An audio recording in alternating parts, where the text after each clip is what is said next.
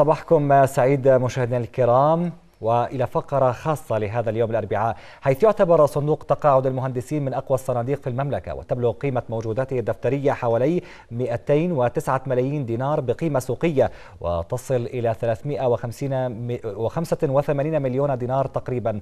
ويضخ هذا الصندوق في السوق المحلي ما يقارب 50 إلى 60 مليون دينار سنويا.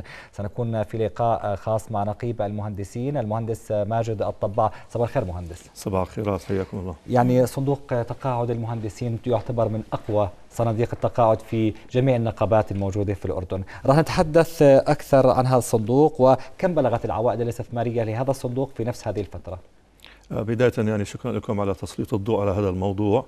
نحن نقول أن صندوق التقاعد في نقابتنا كما ذكرت يعني من أقوى الصناديق في المملكة. نعم. وبفضل الله سبحانه وتعالى الرواتب التقاعدية آخر 20 عام لغاية 2014 بلغت حوالي 156 مليون دينار.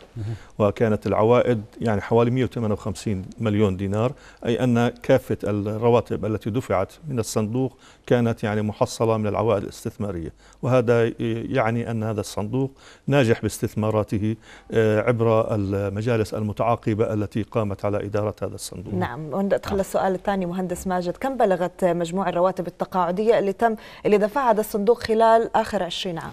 يعني حوالي 156 مليون دينار. كان عندنا إحنا آه، أعداد المهندسين من أكبر الأعداد في صحيح. النقابات يعني تعتبر نقابة المهندسين من كبرى النقابات. صحيح. الآن وصل أعداد المهندسين حوالي 140 مليون آه 140 ألف آسف يعني. 140 ألف إحنا بنحكي بالملايين لأنه نعم الدنانير أما المهندسين 140 ألف.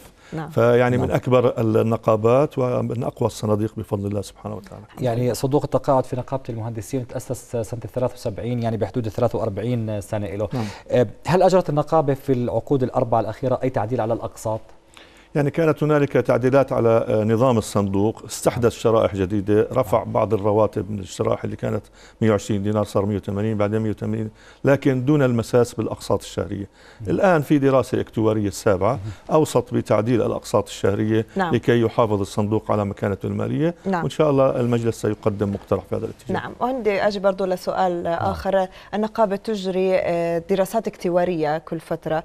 آه، ما الهدف من هذه الدراسات؟ وآخر دراسة أشارت لإيش آخر دراسة شو كانت نتائجها؟ يعني نحن آه، آه، نفتخر بأن نظام هذا الصندوق يجبر المجالس بإجراء دراسة اكتوارية كل ثلاث سنوات يعني نعم. هذا الموضوع ليس موضوع رفاهي موضوع يعني موجود بالنظام مه. وفعلا المجالس ملتزمة فيه إحنا أجريت ست دراسات قبل هذه الدراسة نعم. كل الدراسات كانت تقول بأن هنالك عدم توازن بين الأقساط الشهرية والراتب التقاعدية.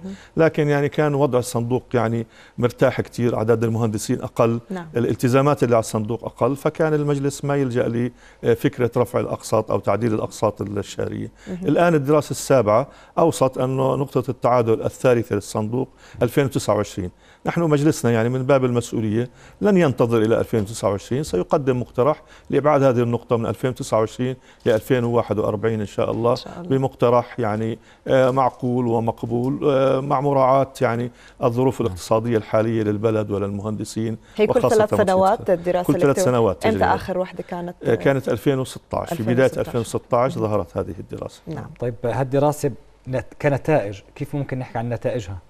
يعني دراسة آه، تحدد المركز المالي للصندوق.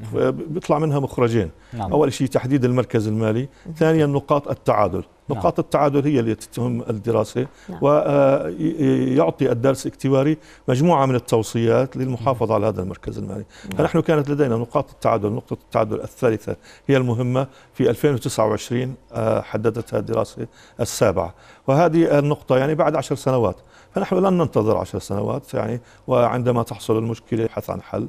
يعني تقدمنا بمقترح لإبعاد هذه النقطة. حسب رأي الدارس الاكتواري مقترح اللي يقدمه المجلس يبعد هذه النقطة ل 2041 وهي فترة يعني كافية إن شاء الله من هون ل 2041 تتحسن الظروف الاقتصادية بالمنطقة بتتحسن نعم. الأوضاع كلها والمهندسين بيكون وضعهم دائما قوي بإذن يعني الله. يمكن نتائج هاي الدراسات الاكتوارية هي أكثر ما يهم المهندس أنه هي بتشعره صحيح. بالأمان صحيح. للفترات القادمة طبعا آه بدي سؤال المهندس ماجد هلأ شو الإجراءات اللي بتتخذوها بعد ما تطلع نتائج هاي الدراسة يعني إحنا عرضنا هذه الدراسة باجتماع هيئه عامه على كافة المهندسين دعينا الاجتماع وجاء الدرس اكتواري وشرح نتائج هذه الدراسة. نعم. ثم يعني كانت هذه الجلسة مسجلة وضعناها على موقع النقابة وأعلناها لكل المهندسين وسلمنا مع معالي وزير الأشغال هذه الدراسة نسخة منها.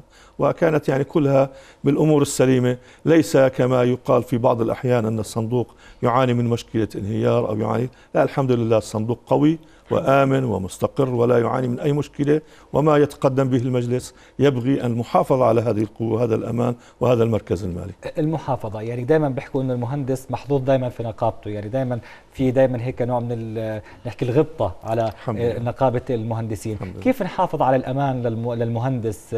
كيف راح تطمنوه بشكل أكثر أنه إحنا عندنا صندوق استثماري قوي للنقابة وإحنا قادرين على أن نوفر لكم الاستقرار والأمان؟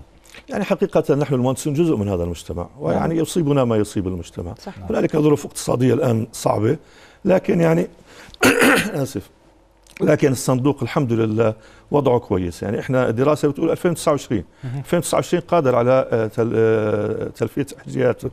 إحنا الصندوق بعام 2016 قدم رواتب تقاعدية حوالي 26 مليون دينار. وهذا رقم يعني ليس سهل. صحيح. كانت الأقساط التي قدمت من المهندسين الشهرية حوالي 20 مليون. وحقق الصندوق بفضل الله أيضا أرباح بحوالي 10 مليون 10 مليون ونص. فكانت هنالك يعني آه، فائض بحدود مليونين دينار مع حساب المصاريف الإدارية. هذا الوضع جيد يعني لكن آه، بحاجة إلى تقوية للمحافظة عليه.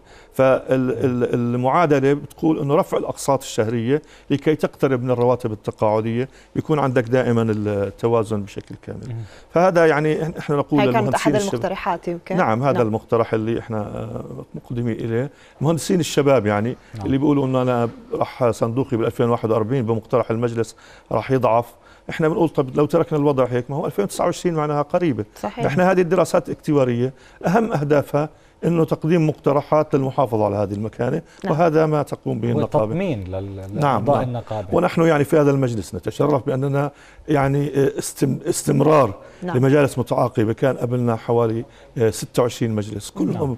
بنوا هذا الإنجاز هذا الإنجاز العظيم الذي نفتخر نعم. به في نقابة المهندسين نعم. وفي الوطن أيضا نعم. فمن مسؤوليتنا المحافظة عليه يعني بصراحة الجميع يفتخر بنقابة نعم. المهندسين وإحنا كثير شفنا لكم أعمال مجتمعية سواء في الأردن وخارج الأردن دائما واقفين مع الناس دائما مبادراتكم موجودة وفعلا المهندسين هم من أكثر الناس المحظوظين بنقابتهم لا وإحنا كمان يعني نفتخر بالمهندس الأردني المهندس صحيح. الأردني نقطة قوة في هذا البلد صحيح. آه، كفاءه داخل وخارج الوطن صحيح. عندما خرج المهندس الأردني إلى الدول المجاورة دول الخليج كان دائما يثبت جداره بإبداعاته وبتميزه طيب نعم. مهندس رسالتك لهالمهندس الكفؤ اللي عندنا في الاردن رسالة لكل منتسبي نقابة المهندسين الأردنيين يعني نحن نقول أن هذه النقابة بفضل الله سبحانه وتعالى صرح من صروح هذا الوطن مسؤوليتنا جميعا المهندسين والمجالس المنتخبة المحافظة على هذا الصرح وإبقاءه قويا في الوطن إن شاء الله وسيبقى داعما للاقتصاد نحن لدينا تحدي كبير بأعداد نعم. مهندسين كبيرة تتخرج من أعلى النسب في العالم نعم. لكن هذا التحدي